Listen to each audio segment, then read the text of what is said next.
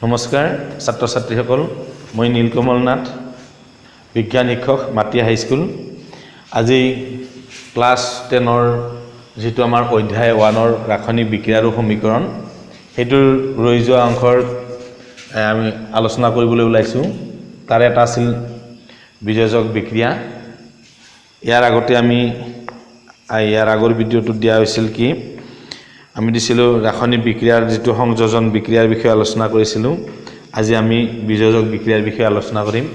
আচলতে বিজয়জক বিক্ৰিয়া কি? বিজয়জক বিক্ৰিয়াতনো কেনেকৈ সংঘটিত হয়? তাৰ আগতে আমি এটা আমি কাৰ্যকলাপ কৰি চাওঁ। এতিয়া দিছোঁ।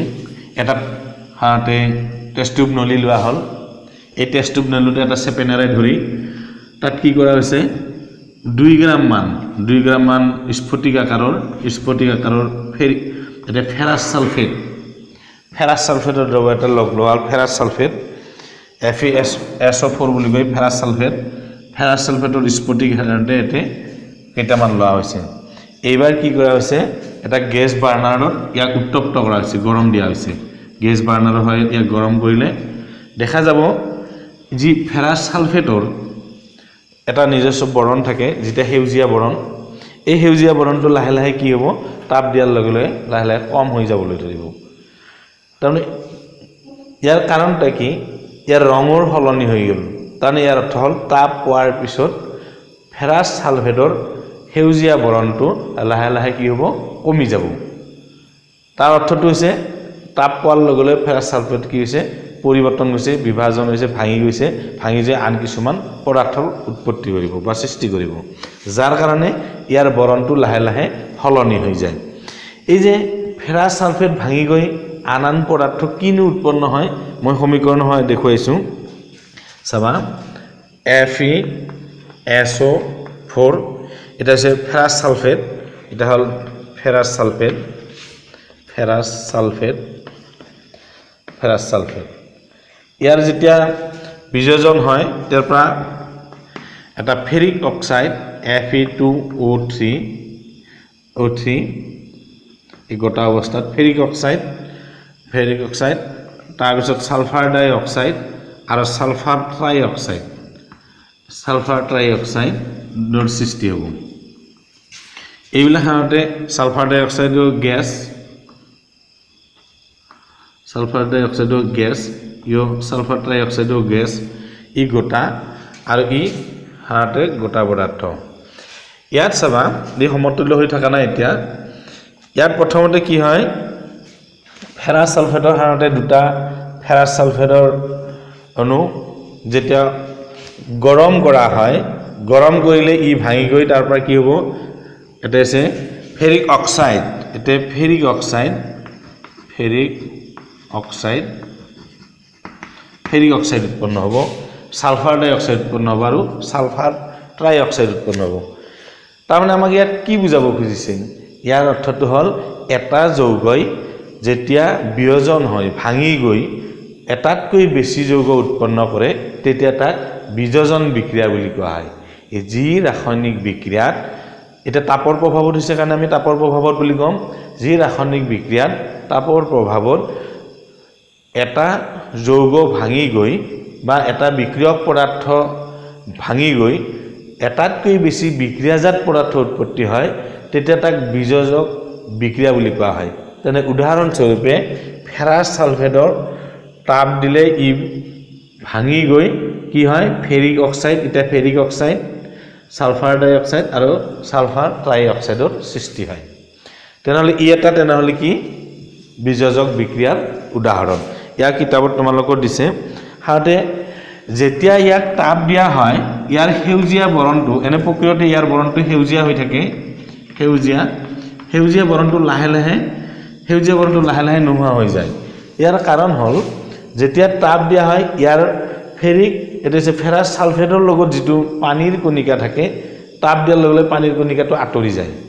পানীৰ কণিকাটো আঁতৰি যোৱাৰ কাৰণে ইয়াৰ সেউজীয়া বৰণটো লাহে লাহে কি হয়? নোহোৱা হৈ যায়। কাৰণ ই শুকান হৈ আহে। ইয়াত পানীৰ কণিকা সাধাৰণতে ফেৰাছ ছালফেটৰ লগত পানীৰ কণিকা থাকে সাতটা। F E S O' four ইয়াৰ লগত সাতটা পানীৰ কণিকা থাকে। আহে কেতিয়াবা পৰীক্ষাত যে ফেৰাছ ছালফেটৰ লগত পানীৰ কণিকা কেইটা জড়িত হৈ থাকে। ইয়াতে তোমালোকৰ কিতাপত আছে F E S O' four আছে ফেৰাছ ছালফেটত পানীৰ কণিকা থাকে সাতটা। এনেধৰণে আমি গম পালোঁ তেনেহ'লে কি ই এটা বীজজক বিক্ৰিয়াৰ উদাহৰণ। ঠিক তেনেধৰণে আন এটা যদি চাওঁ সেই একেধৰণে বাৰ্ণাৰৰ সহায়ত যদি আমি এইবাৰ এইটো সলনি কৰি দিলোঁ এতিয়া এইটো সলনি কৰি আন এটা এইবাৰ ধৰিছোঁ। এইবাৰো এটা টেষ্ট টিউবত অলপমান আমি লেড নাইট্ৰেটৰ দ্ৰৱ লৈছোঁ। এইবাৰ আমি ইয়াত লৈছোঁ কি?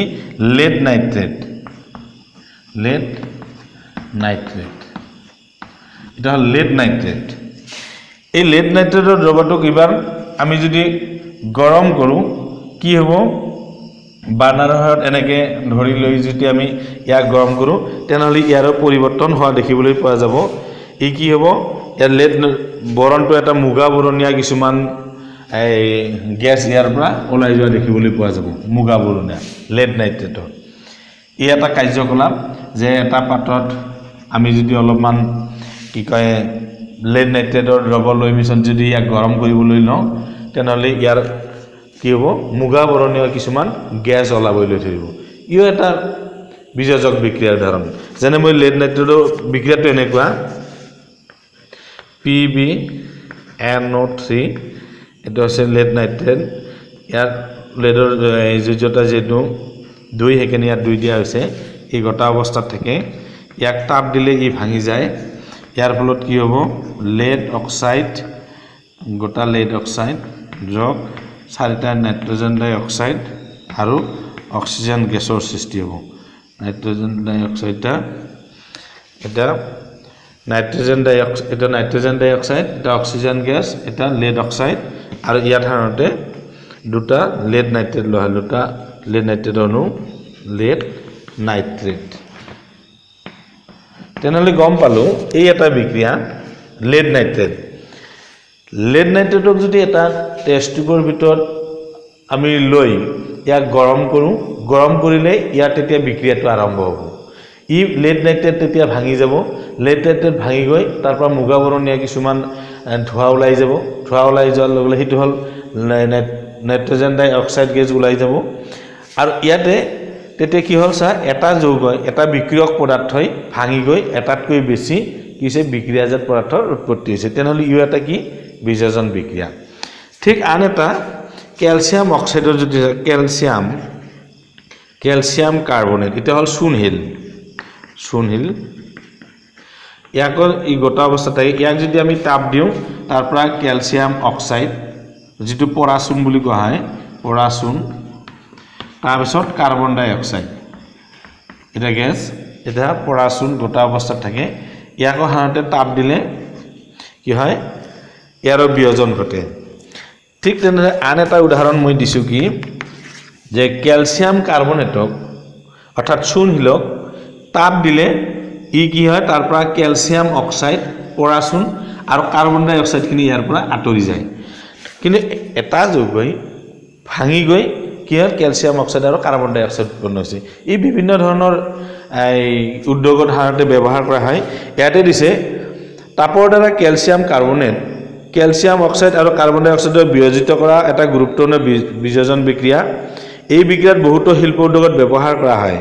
কেলছিয়াম অক্সাইডক চূণ বা পৰাচূণ বোলা হয়। ইয়াৰ ভালেমান ব্যৱহাৰ আছে। চিমেণ্ট উদ্যোগত ইয়াক ব্যৱহাৰ কৰা হয়। তাৰমানে ইয়াক বেছিকৈ এই বিক্ৰিয়াটো ক'ত হয়? চিমেণ্ট উদ্যোগত বেছিকৈ ব্যৱহাৰ কৰা হ'ব যিটো পৰাচূণ ইয়াৰ ভালেমান ব্যৱহাৰ চিমেণ্ট উদ্যোগত ইয়াক ব্যৱহাৰ কৰা হয় সেয়ে ই বিয়োজন। এই যেতিয়া এটা বিযোজন বিক্ৰিয়াত তাপ প্ৰয়োগ কৰি ঘটোৱা হয় তেতিয়া তাক তাপীয় বিযোজন বিক্ৰিয়া বুলি কোৱা হয়। চাবা ইয়াত লেড নাইট্ৰেটৰ পৰা lead oxide nitrogen dioxide আৰু অক্সিজেন উৎপন্ন হোৱা বিক্ৰিয়াটো তাপ দি সংঘটিত কৰা হৈছে। আৰু এই বিক্ৰিয়াটো কেলছিয়াম কাৰ্বনেটক তাপ দি কেলছিয়াম অক্সাইড আৰু কাৰ্বন ডাই অক্সাইড উৎপন্ন কৰা হৈছে। এই যে দুয়োটা বিক্ৰিয়াই তাপ দিয়াৰ ফলতে ই সংঘটিত হৈছে। আৰু জীৱৰ ৰাসায়নিক বিক্ৰিয়া অৰ্থাৎ জীৱৰ বীজ বিজয়জন ৰাসায়নিক বিক্ৰিয়া বীজক ৰাসায়নিক বিক্ৰিয়াৰ কি হয়? তাপৰ প্ৰভাৱত হয়। সেইবোৰক তাপীয় বিজয়জন বিক্ৰিয়া বুলি কোৱা হয়। তেনেহ'লে তাপীয় বিজয়জন বিক্ৰিয়া কাক বোলে? আমি উত্তৰটো ইয়াতে ধুনীয়াকৈ দি আছে। যেতিয়া এটা বিজয়জন বিক্ৰিয়াত তাপ প্ৰয়োগ কৰি ঘটোৱা হয় তেতিয়া তাক তাপীয় বিজয়জন বিক্ৰিয়া বুলি কোৱা হয়। তেনেহ'লে আমি এই দুয়োটা তেনেহ'লে উদাহৰণ যদি দিব দিয়ে তাপীয় বিসৰ্জন বিক্ৰিয়া এটা উদাহৰণ দিয়ে আমি ক'ম যে কেলছিয়াম কাৰ্বনেটক তাপ দিলে কেলছিয়াম অক্সাইড আৰু কাৰ্বন ডাই অক্সাইড উৎপন্ন হয়। ই এটা তাপীয় বিসৰ্জন বিক্ৰিয়াৰ উদাহৰণ। তেনেহ'লে বিসৰ্জন বিক্ৰিয়া কাক বুলি ক'লে? যেতিয়া এটা বিক্ৰিয়ক পদাৰ্থক তাপৰ প্ৰভাৱতেই হওক বা আন কাৰ চাপৰ প্ৰভাৱতে হওক বিক্ৰিয়ক পদাৰ্থক কি হয় ভাঙি গৈ এটাতকৈ বেছি বিক্ৰিয়াজাত পদাৰ্থ উৎপন্ন হয় তেতিয়া তাক বিযোজক বিক্ৰিয়া বুলি কোৱা হয়। যেনে আমি এতিয়া আমি ফেৰাছ ছালফেটক চেৰা ফেৰাছ ছালফেটক তাপ দিলে ই কি হয় ferric oxide sulphur dioxide আৰু ছালফাৰ ডাই অক্সাইডলৈ ই ৰূপান্তৰ হয়। ই এটা আমি পালোঁ বিযোজক বিক্ৰিয়া। আৰু এই বিযোজক বিক্ৰিয়াতে যদি তাপৰ প্ৰভাৱত এই বিক্ৰিয়াটো সংঘটিত হয় তেতিয়া তাক ক'ব তাপীয় বিযোজক বিক্ৰিয়া। এইখিনি চাবা তোমালোকে। এইখিনি হ'ল। ইয়াৰ পিছত আমি আলোচনা কৰিম এটা আন এটা কাৰ্যকলাপ। চাবা।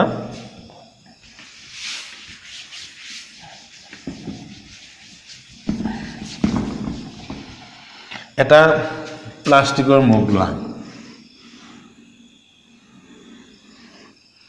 হ'ল এনেকৈ প্লাষ্টিকৰ এটা মুখ লোৱা হ'ল। ইয়াত দুটা সৰুকৈ বিন্ধা কৰি লোৱা হ'ল। ইয়াতে দুডাল বিদ্যুৎ দাৰ সোমাই দিয়া হ'ল। ইয়াত দুটা কাৰ্বনৰ দুডাল নাইবা গ্ৰেফাইডৰ দণ্ড ইয়াত সোমাই দিয়া হ'ল। এই দুডাল গ্ৰেফাইডৰ দণ্ড। আৰু ইয়াৰ মূৰ দুটা কি হ'ল? ইয়াৰ মূৰ দুটা আমি এটা বেটাৰীৰ লগত আমি সংযোগ কৰি দিলোঁ। এতিয়া এটা আমি চুইচৰ ব্যৱস্থা কৰিলোঁ। এনেকৈ আনি ইয়াত এখন বৰ্ড বনালোঁ। এটা বেটাৰীৰ লগত আমি কি কৰিছোঁ এতিয়া এতিয়া ধৰা হ'ল বেটাৰী এটাৰ লগত কানেকশ্যন এটা বেটাৰী। আমি জাষ্ট এটা দেখুৱাইছোঁ। এইবাৰ ইয়াতে কি কৰা হ'ল এতিয়া চাবা। আমি এই বিক্ৰিয়াটোত এটা মগ লোৱা হৈছে তাত দুটা বিন্ধা কৰি দুডাল বিদ্যুৎ গ্ৰে- গ্ৰেফাইডৰ দণ্ড এনেকৈ ৰাখি এই গ্ৰেফাইডৰ দণ্ড দুডাল কি এটা বেটাৰীৰ লগত সংযোগ কৰি দিয়া হৈছে। বেটাৰী এটাৰ লগত ইয়াত সংযোগ কৰি দিয়া হৈছে। এইবাৰ কাৰ্যকলাপটোনো কি আছে চাবা? তোমালোকৰ কিতাপত স্পষ্টকৈ দিয়া আছে যে এটা প্লাষ্টিকৰ মগ লোৱা মগটোৰ তলি দুটা ফুটা কৰি ৰবৰৰ ঠিলা লগাই দিয়া। তাৰমানে তলফালেদি এই ঠিলা লগাই দিয়া হৈছে ইয়াৰ কাৰণ যাতে ইয়াৰ পৰা পানী ওলাই যাব নোৱাৰে। টয়টা দুটালত ছয় ভল্টৰ এটা বেটাৰীৰ লগত সংযোগ কৰা। এইটো তাৰমানে ছিক্স ভল্টৰ বেটাৰী তাৰমানে। ছিক্স ভল্টৰ বেটাৰীৰ লগত সংযোগ কৰিব আহিছে। টয়টা দুটা ডুব যোৱাকৈ মগটোত পানী ভৰোৱা আৰু পানীত কেইটোপালমান লঘু ছালফুৰিক এচিড যোগ দিয়া। এতিয়া পানী ভৰাবলৈ দিছে ইয়ালৈকে তাৰমানে পানী ভৰা হ'ল আৰু এতিয়া sulphuric acid H two S O' four ইয়াত যোগ কৰি দিয়া হ'ল। ইহঁতক কাৰ্বনৰ দুডালৰ ওপৰত এইবাৰ পানীৰে ভৰ্তি কৰি দুটা পৰীক্ষাণৰ লোৱা আৰু ইহঁতক কাৰ্বনৰ দুডালত ভৰাই লোৱা। এতিয়া দুটা এনেকুৱা ওলোটা মুখৰ টেষ্টটো আমি এনেকৈ লৈ ইয়াত কি কৰিম ইয়াত সোমাই দিম। ইয়াৰ ভিতৰত এনেকৈ তাৰমানে আমি পানীৰে ভৰ্তি পূৰ্ণ দুটা টেষ্টটো ইয়াৰ ভিতৰত সোমাই দিয়া হ'ল। এনেকৈ ইয়াত পানী পূৰ্ণকৈ ঠেলি সোমাই দিয়া হ'ল। এইবাৰ কি কৈছে চুইচ টিপি দ্ৰৱটোৰ মাজেৰে বিদ্যুৎ হ'বলৈ বিদ্যুৎ প্ৰবাহ হ'বলৈ দিয়া হ'ল আৰু চৌজটো কিছু সময়ৰ বাবে লৰচৰ নকৰাকৈ ৰাখিবলৈ দিয়া হ'ল। তোমালোকে তৈতা দুডালত গেছৰ বুৰবুৰণি ওলা দেখা পাবা। এই গেছ পৰীক্ষাণৰ লোটাত পানীত অপসাৰিত কৰিব। এই পৰীক্ষা লোটাত সংগ্ৰহ কৰা গেছৰ আয়তন একেই নে? এইবাৰ ইয়াতে কি হয়? চুইচটো যেতিয়া অন কৰি দিম ইয়াৰ মাজেৰে কি হ'ব? বিদ্যুৎ প্ৰবাহিত হ'ব। প্ৰবাহিত হোৱাৰ লগে লগে ইয়াত বুৰবুৰণি কাটি ইয়াত গেছ জমা হ'বলৈ ধৰিব। এই দুই মূৰত কি হ'ব? গেছ জমা হ'বলৈ ধৰিব। এই যে গেছ জমা ইয়াত গেছ জমা হ'বলৈ ধৰিব দুইফালে বুৰবুৰণি কাটিবলৈ ধৰিব এই দণ্ড দুডালত আৰু গেছ জমা হ'বলৈ ধৰিব। ইয়াতে দেখিবা এটাত অক্সিজেন গেছ আৰু এটাত হাইড্ৰজেন গেছ কি হৈছে? জমা হ'ব। কাৰণ এইবোৰ আছিল পানী। পানীৰ বিয়োজন ঘটি কি হ'ব? ইয়াৰ পৰা পানীটো ভাঙি গৈ তাত অক্সিজেন আৰু হাইড্ৰজেন গেছৰ সৃষ্টি হ'ব। ইয়াত যেতিয়া ইয়াত এই হাইড্ৰজেন আৰু অক্সিজেন গেছ হ'ল ইয়াতে এই বিদ্যুৎ দ্বাৰ দুটাৰক আমি চাব লাগিব এডাল থাকিব এনড এনড আৰু এণ্ডল হ'ব কেথড। ইয়াক এডালক এনড বুলি কোৱা হয় এডালক কি বুলি ক'ব? কেথড বুলি কোৱা হ'ব।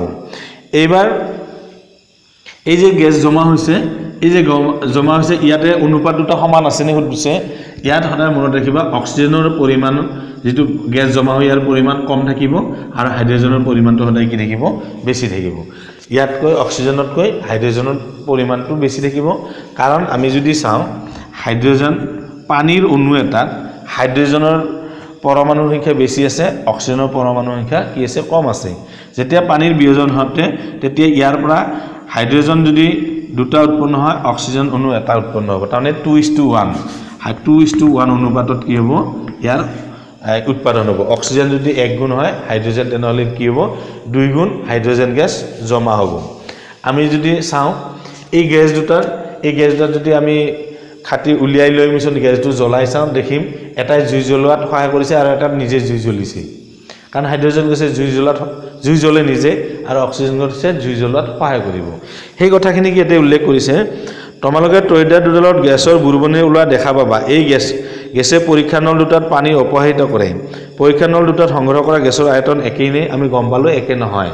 কাৰণ অক্সিজেনতকৈ হাইড্ৰজেনৰ গেছৰ আয়তন দুগুণ থাকে। একেনে পৰীক্ষা নল দুটা গেছেৰে পূৰ্ণ হোৱাৰ পাছত সাৱধানে আঁতৰাই আনা। জ্বলন্ত এডাল মম বেলেগে বেলেগে পৰীক্ষা নল দুটাৰ মুখত ধৰি পৰীক্ষা দুটাত থকা গেছ দুটা পৰীক্ষা কৰে। তেনেহ'লে পৰীক্ষা নল দুটাত থকা গেছ দুটা কি হ'ব? এটা হ'ব অক্সিজেন আনটো হ'ব হাইড্ৰজেন। ইয়াত এটা হৈছে এইটো এটা তেনেহ'লে আমি কি হ'ল? এই এটা বিয়োজন বিক্ৰিয়া। সাধাৰণতে এইটোত এই বিক্ৰিয়াটোতনো কি ঘটিছে?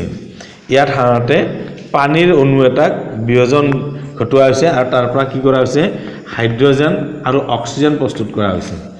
ইয়াত চাবা এইটো পানী পানীৰ মাজেৰে বিদ্যুৎ প্ৰবাহ চালিত হৈছে। এইটো বিদ্যুতৰ সহায়ত বিদ্যুৎ বিদ্যুৎ প্ৰবাহ চালিত কৰি বিদ্যুৎ প্ৰবাহ বিদ্যুৎ প্ৰবাহৰ ফলত তাৰমানে কি কৰা হৈছে পানীটো ভাঙি দিয়া হৈছে আৰু ইয়াত হাইড্ৰজেন আৰু অক্সিজেন প্ৰস্তুত কৰা হৈছে। এই বিক্ৰিয়াটোত সমতুল্য হৈ থকা নাই। ইয়াত আমি যেতিয়া দুই দিম দিয়াৰ লগে লগে ইয়াতে হাইড্ৰজেন চাৰিটা হ'ল। তেনেহ'লে ইয়াত চাৰিটা পৰমাণু ইয়াত আমি আগৰ ফালে দুই পূৰণ দিলে এই হাইড্ৰজেন সংখ্যাটো ঠিকে মিলি গৈছে পৰমাণু সংখ্যা এতিয়া অক্সিজেন এই অক্সিজেন। তাৰমানে ইয়াত চা দুই গুণ এতিয়া দুই গুণ হাইড্ৰজেন অণু আছে আৰু এক গুণ অক্সিজেন অণু আছে। এইটো হ'ল উৎপন্ন এই বিক্ৰিয়াটো এই বিক্ৰিয়াটো ইয়াতে সংঘটিত হৈছে। তেনেহ'লে ইও এটা কি? বিজয়জন বিক্ৰিয়া। অৰ্থাৎ বিদ্যুতৰ সহায়ত পানী ভাঙি পানীৰ অণু এটাক ভাঙি আমি কি কৰিব পাৰোঁ? হাইড্ৰজেন আৰু অক্সিজেন গেছৰ সৃষ্টি কৰিব পাৰোঁ। আৰু ইও হৈছে এটা বিজয়জন বিক্ৰিয়া। আৰু এতিয়া বিদ্যুতৰ প্ৰবাহৰ ফলত ইয়াক বিয়োজন ঘটা হয়। আৰু ইয়াত উৎপন্ন হোৱা অক্সিজেনৰ পৰিমাণতকৈ হাইড্ৰজেনৰ পৰিমাণ কি হয়? দুই গুণ বেছি থাকে। কেতিয়া দিব পাৰে? পানীৰ মাজেৰে বিদ্যুৎ প্ৰবাহ আহ, চালিত কৰিলে কি গেছ উৎপন্ন হয়? আৰু ইহঁতৰ অনুপাত কি? তেতিয়া আমি উত্তৰটো লিখিব পাৰিম যে পানীৰ মাজেৰে বিদ্যুৎ প্ৰবাহ চালিত চালিত হ'লে হাইড্ৰজেন আৰু অক্সিজেন গেছ উৎপত্তি হয়। আৰু ইয়াত উৎপন্ন হোৱা হাইড্ৰজেনৰ পৰিমাণ অক্সিজেনৰ পৰিমাণতকৈ দুগুণ হয়। অৰ্থাৎ দুগুণ বেছি হয়। হাইড্ৰজেনৰ অক্সিজেনৰ যদি এক গুণ হয় এই হাইড্ৰজেনৰ হ'ব তেনেহ'লে কি? দুই গুণ। আমি এইটো বুজি পালোঁ। আন এটা দিছে আন এটা চাবা। কাৰ্যকলাপ।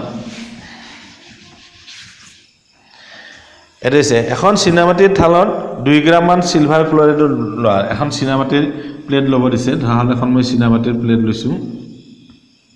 ধৰা হ'ল এখন চিনামাটিৰ প্লেট ইয়াতে দুই গ্ৰামমান কি হৈছে এই দুই gram silver nitrate A G silver silver nitrate নহয় silver chloride A G C L silver chloride এই যি চিলভাৰ ক্লৰাইড লোৱা হ'ব আৰু ইয়াক কি কৰা হৈছে সূৰ্যৰ পোহৰত সূৰ্যৰ খিৰিকী এখনৰ সন্মুখত ইয়াক সূৰ্যৰ পোহৰত ধৰা হ'ল সূৰ্যৰ পোহৰ সোমাই আহি আছে। সূৰ্যৰ পোহৰত খিৰিকী এখনত সূৰ্যৰ পোহৰ পৰিবলৈ দিয়া হৈছে।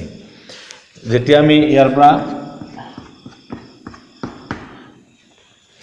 দেছে চাবা এখন চিনামাটিৰ থালত দুই গ্ৰাম চিলভাৰ ক্লৰাইড লোৱা। চিলভাৰ ক্লৰাইডৰ ৰং কি? আমি জানো চিলভাৰ ক্লৰাইডৰ ৰং বগা। বগা ৰঙৰ হয়। কিছু সময়ৰ বাবে চিনামাটিৰ থালখন সূৰ্যৰ পোহৰত ৰাখা। এতিয়া চিলভাৰ ক্লৰাইডৰ ৰং নিৰীক্ষণ কৰা। তোমালোকে দেখিবলৈ পাবা যে বগা চিলভাৰ ক্লৰাইড সূৰ্যৰ পোহৰত মটীয়া বৰণ হয়।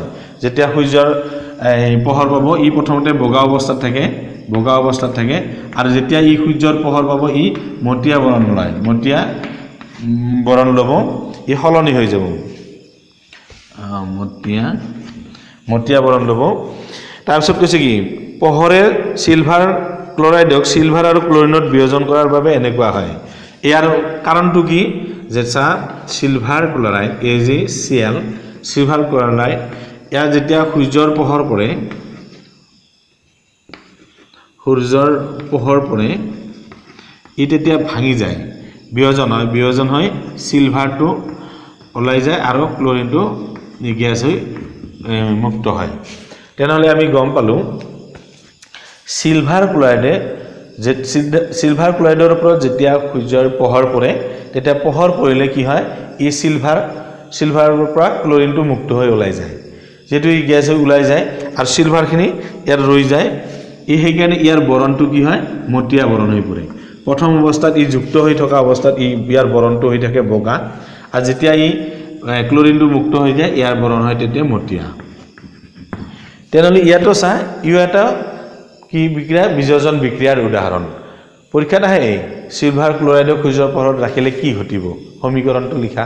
তেনেহ'লে আমি লিখিব লাগিব চিলভাৰ ক্লৰাইডক সূৰ্যৰ পোহৰত ৰাখিলে চিলভাৰ মুক্ত হ'ব আৰু ক্লৰিন গেছ কি হ'ব? মুক্ত হৈ পৰিব। ইয়াৰ তলত সমীকৰণটো দেখুওৱা হ'ল। এই সমীকৰণটো আমি লিখি দিব লাগিব। কেতিয়াবা ইয়াক আকৌ সমতুল্য কৰিব আহিব পাৰে। এনেকৈ দিব। এ জি চি এল এনেকৈ দিয়া থাকিল। ইয়াক লিখি দিল। A G plus C L এনেকৈ লিখি দিয়া থাকিল যে ইয়াক সমতুল্য কৰা বা এই দুয়োটা পক্ষৰ পৰমাণু সংখ্যা সমান কৰি দেখুওৱা এই এনেধৰণৰ প্ৰশ্নবিলাক আহিব পাৰে। তে আমি এই এটা বুজি পালোঁ। ঠিক তেনেধৰণৰ আন এটা বিক্ৰিয়া আছে ইয়াতে যিটো ফটোগ্ৰাফিকত হয় সাধাৰণতে চিলভাৰ ব্ৰমাইডৰ একেধৰণৰ যিটো আচৰণ যেনে চিলভাৰ ক্লৰাইড এতিয়া চিলভাৰ ব্ৰমাইড বিয়াৰ এইটো যিটো চিলভাৰ ব্ৰমাইড ইয়াতো ইয়াতো সূৰ্যৰ পোহৰ লাগে। সূৰ্যৰ পোহৰ। সূৰ্যৰ পোহৰত ই কি হয়? চিলভাৰটো মুক্ত হয় আৰু ব্ৰমিনটো ওলাই পৰে। ই গেছ হৈ ওলাই যায়। ইয়াতো দিছে ওপৰৰ বিক্ৰিয়াটোৰ কলা বগা ফটোগ্ৰাফিকত ব্যৱহাৰ কৰা হয়। কি কি প্ৰকাৰৰ শক্তি এই বিয়োজন বিক্ৰিয়াৰ ঘটাইছে? আমি গম পালোঁ কিছুমান বিক্ৰিয়া ঘটিছে তাপৰ প্ৰভাৱত বিয়োজন বিক্ৰিয়া কিছুমান সূৰ্যৰ পোহৰত আৰু কিছুমান বিদ্যুতৰ প্ৰভাৱত। আমি দেখিলোঁ যে পদাৰ্থৰ বিয়োজন বিক্ৰিয়াবোৰত তাপ পোহৰ আৰু বিদ্যুৎ শক্তিৰ প্ৰয়োজন হয়। যিবোৰ বিক্ৰিয়াত শক- শক্তি শোষণ হয় তেনে বিক্ৰিয়াক তাপগ্ৰাহী বিক্ৰিয়া বুলি কোৱা হয়। শক্তি শোষণ হয়। এতিয়া চা এই বিক্ৰিয়াটোত আৰু এই বিক্ৰিয়াটোত সূৰ্যৰ পোহৰ ই কি কৰিছে? শোষণ কৰি লৈছে। চিলভাৰ ক্লৰাইডে সূৰ্যৰ পোহৰ অৰ্থাৎ সূৰ্যৰ পোহৰ নাপালে ই বিয়োজন নহয়। সূৰ্যৰ পোহৰ শোষণ কৰি লোৱাৰ পিছতে ই চিলভাৰ আৰু ক্লৰিনৰ সৃষ্টি হৈছে। আৰু ইয়াতো চা চিলভাৰ ব্ৰমাইডে সূৰ্যৰ পোহৰ পৰাৰ পিছতে চিলভাৰ আৰু ব্ৰমাই ব্ৰমাইডৰ সৃষ্টি কৰিছে। এই দুয়োটা বিক্ৰিয়াতে তাপ কি হৈছে? ই শুহি লৈছে তাপ শোষণ কৰি লৈছে। আৰু তাপ শোষণ কৰি এই বিক্ৰিয়াটো সংঘটিত হোৱাৰ কাৰণে ইয়াতো কোৱা- হয় কি? তাপগ্ৰাহী বিক্ৰিয়া। অৰ্থাৎ যিবোৰ যিবোৰ বিয়োজন বিক্ৰিয়াত তাপ শোষণ কৰাৰ ফলত বিক্ৰিয়াটো সংঘটিত হয়। সেনেবোৰ ৰাসায়নিক বিক্ৰিয়াক কি বুলি কয় তেনেহ'লে? তাপগ্ৰাহী বিক্ৰিয়া। তোমালোকে স্পষ্টকৈ দি আছে যিবোৰ বিক্ৰিয়াত শক্তি শোষিত হয় তেনেবোৰ বিক্ৰিয়াক তাপগ্ৰাহী বিক্ৰিয়া বোলে। তেনেহ'লে এই তাপগ্ৰাহী বিক্ৰিয়াবিলাক আমি গম পালোঁ যে কোনবিলাক তাপগ্ৰাহী ইয়াৰ উদাহৰণ যদি দিব আহে তেনেহ'লে আমি এই দুয়োটাই দিব পাৰোঁ। তেনেহ'লে তোমালোকে বহুকেইটা বিজনজন বিক্ৰিয়াৰ বিষয়ে পালা। প্ৰথমৰ প্ৰথমৰ পৰাই যদি আমি চাবলৈ যাওঁ আমি কি পাইছিলোঁ? কিছুমান আমি পাইছিলোঁ তাপৰ প্ৰভাৱত। এই জুইৰ শিখাত তাপ ডিমিশ্যন তাক বিয়োজন ঘটোৱা হয়। যেনে আমি পাইছিলোঁ ফেৰাছ ছালফেটক বিয়োজন ঘটাই ফেৰিক অক্সাইড ছালফাৰ ডাইঅক্সাইড আৰু ছালফাৰ ট্ৰাই অক্সাইডৰ উৎপত্তি হোৱা। সেই এটা বিক্ৰিয়া সেইটো তাপৰ প্ৰভাৱত হ'ল। তাৰপিছত কেলছিয়াম কাৰ্বনটক কেলছিয়াম অক্সাইড আৰু কাৰ্বন ডাই অক্সাইডৰ ৰূপান্তৰ কৰা তাপৰ প্ৰভাৱত সংঘটিত হৈছিল। আন এটা পাইছিলোঁ বিদ্যুতৰ ফলত যেনে পানীৰ মাজেৰে বিদ্যুৎ পঠিয়াই দি অক্সিজেন আৰু হাইড্ৰজেন উৎপন্ন কৰা। এইটো হ'ল বিদ্যুতৰ প্ৰভাৱত। আৰু সূৰ্যৰ পোহৰত আমি পালোঁ কি? চিলভাৰ ক্লৰাইডক চিলভাৰ আৰু ক্লৰিনলৈ বিয়োজন ঘটোৱা। এই সকলোবিলাকেই হৈছে বিযোজন বিক্ৰিয়াৰ উদাহৰণ। পৰীক্ষাত এইবিলাকৰ পৰা কেতিয়াবা সেই বিযোজন বিক্ৰিয়া কাক বোলে? এটা উদাহৰণ দি বুজাই লিখা। কেতিয়াবা আহিব তাপগ্ৰাহী বিক্ৰিয়া কাক বোলে? আমিতো পালোঁ এই তাপগ্ৰাহী বিক্ৰিয়াবিলাক। তাপগ্ৰাহী বিক্ৰিয়া কাক বোলে? এটা উদাহৰণ দ্বাৰা বুজাই লিখা। কেতিয়াবা এই এই কেৱল এনেধৰণেই দিব পাৰে যে চিলভাৰ চিলভাৰ ক্লৰাইডক সূৰ্যৰ পোহৰত ৰাখিলে কি সংঘটিত হ'ব? সমীকৰণটো লিখা এই সমীকৰণটো লিখিব দিব পাৰে। তেনেকৈ দিব পাৰে। কেতিয়াবা এনেকৈ দিব পাৰে লেড নাইট্ৰেটক তাপ দিলে কি ঘটিব? সমীকৰণটো লিখা। তেনে লেড নাইট্ৰেটৰ পৰা কেনেকৈ আমি লেড অক্সাইড তাৰপিছত নাইট্ৰজেন ডাই অক্সাইড আৰু অক্সিজেন পাওঁ সেই সমীকৰণটো আমি লিখি দিব লাগিব। এইবিলাকেই তাৰ প্ৰশ্ন। গতিকে তোমালোকে এইবিলাক ভালদৰে চাবা। ইয়াৰ পিছত আমি ইয়াৰ পিছৰ পাঠটো আছে কি? পিছৰ পাঠটোত আছে অপহৰণ আৰু প্ৰতিস্থাপন বিক্ৰিয়া কাক বোলে? আমি অপহৰণ আৰু প্ৰতিস্থাপন বিক্ৰিয়াৰ বিষয়ে আলোচনা কৰিম। তোমালোকে এই পাঠটা ভালদৰে ৰিপিট কৰি চাবা তেতিয়া বস্তুখিনি বুজি পাবা। কি কাৰণত ইয়াক বিযোজন বিক্ৰিয়া বুলি কোৱা হৈছে?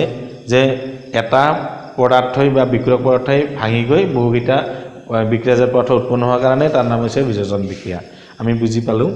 গতিকে তোমালোকে এইটো ভালদৰে ৰিপিট কৰি চালে কথাখিনি ভালদৰে বুজিব পাৰিবা। ইয়াৰ আজিলৈ আৰু বেছি আগ নাবাঢ়োঁ। তোমালোকে এইবোৰ তোমালোকৰ বন্ধুবোৰক শ্বেয়াৰ কৰিবা।